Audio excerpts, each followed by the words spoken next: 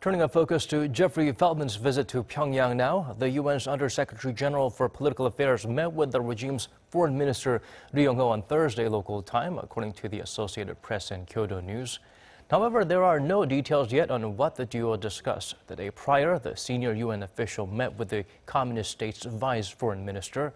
According to the North's state media, cooperation between the UN and the regime, as well as assistance programs from UN organizations, were the topics covered.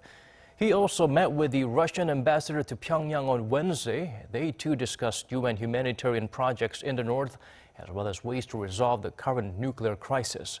Feltman is expected to wrap up his visit to the Hermit Kingdom Friday.